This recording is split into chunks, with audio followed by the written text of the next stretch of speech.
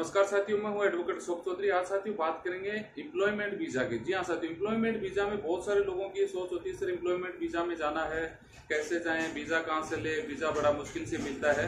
तो इस टॉपिक पे कुछ पाँच छह टॉपिक में मैं बात बताऊँगा कि इसमें क्या आपके फ़ायदे हैं, क्या आपको लॉस है, क्या आपको नुकसान होने वाला है। तो चलिए शॉर्टली तरीके से अपनी शुरुआत करते हैं। तो साथियों मैंने हेडिंग रखा है एम्प्लॉयमेंट वीज़ा के फ़ायदे, या फिर हानि भी बोल सकते हैं। ठीक है तो इसकी बात करते हैं साथियों एम्प्लॉयमेंट वीज़ा वैसे देखा जाए तो बहुत कम होता है, क्योंकि गल्फ कंट्रियों के अलावा बहुत सारी कंट्रियों में विज़िट टू वर्क ही होता है एम्प्लॉयमेंट वीज़ा बहुत कम होता है, इसी का एजेंट लोग फ़ायदा उठा लेते हैं, फिर वो विज़िट में बंदे को भेज देते हैं, फिर वो बंदा आगे गड़बड़ हो जाती है, उसको दिक्कत हो जाती है। तो चलिए अपन शॉर्टली तरीके से शुरुआत करते हैं। एम्प्लॉयमेंट वीज़ा होता क्या है? साथियों एम्प्लॉयमेंट वीज़ा का मतलब ये होता है कि जिस कंपनी के थ्रू आपने आवेदन किया जिस एजेंसी के थ्रू आवेदन किया आगे की जो कंपनी है वो आपको यहाँ इंटरव्यू देके सिलेक्शन करके आपको वहाँ से वीज़ा निकाल के देती है आपके नाम का, ठीक है?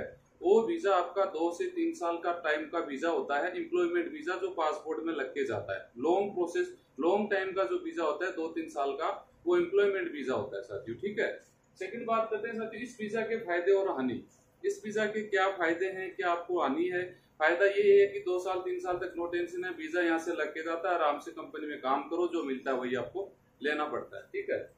इसमें टाइम बहुत ज़्यादा लगता है। अब इस वीज़ा की समस्या सबसे बड़ी दिक्कत ये आती है साथ ही इस वीज़ा में टाइम बहुत ज़्यादा लगता है वीज़ा लेने में। जैसे दुबई मान लीजिए, कहीं पर भी कंट्रियों का मान लीजिए, पहले इंटरव्यू होता है, फिर सिलेक्शन होता है, फिर बहुत सारा टाइम दो, तीन, चार महीने लग जाते हैं।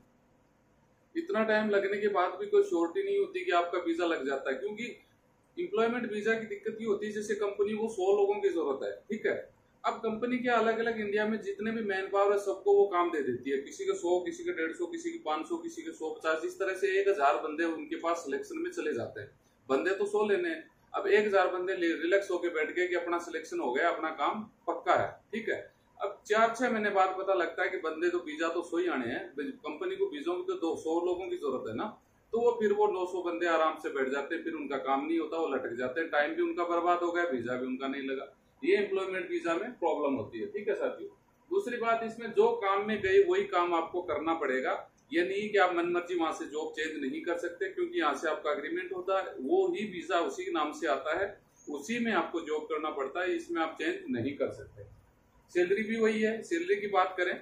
सैलरी की बात करें साथियों तो मान लीजिए यहाँ से आपको पंद्रह सौ ग्राम में सैलरी वहाँ लेके गए फिर आपको पता चला यार, अपने टैलेंट के हिसाब से सैलरी कम है तो भैया को नो चांस जो एग्रीमेंट हो गया, वही रहना है, दो साल तक कोई चेंजिंग नहीं होने वाली। ये एम्प्लॉयमेंट वीज़ा का लॉस होता है।